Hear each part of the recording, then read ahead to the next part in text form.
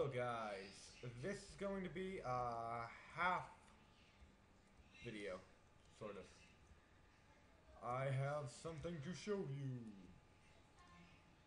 A one wide, tileable hipster door. It's it's in its uh, beta stage because there's still um, it's still only it, still only can be used for two two wide, if you know what I mean. Well, basically, you have like the problem is where I have your input, and it, once I move that, it's um,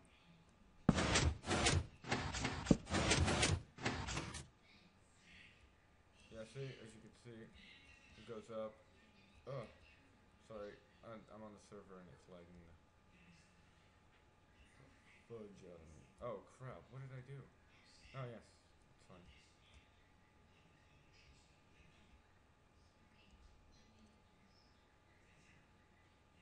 And now this one goes down, and you can turn it back on. So, uh, but the problem is you can't. Problem with this design is you can't activate two at a time. So I will work on that, and I'll update that when it's done. uh, to, to show the other one. Uh, It's not even our glitch.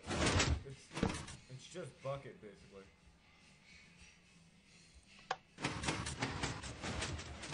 So yeah, this is the first high level. Still a work in progress.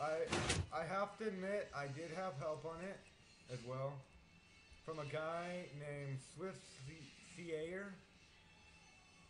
I'll put his channel in the description. And Nick Willer stuff, a tiny bit, a tiny, tiny bit. He was the one who dared me to do this, basically. Or, yeah, whatever. It's not even going to be a tutorial for this because it's not done, but I, I wanted to show you guys, whoever is actually subscribed to me, lol. Uh, hint, hint, subscribe. Um, but, yeah. Thank you for watching this video.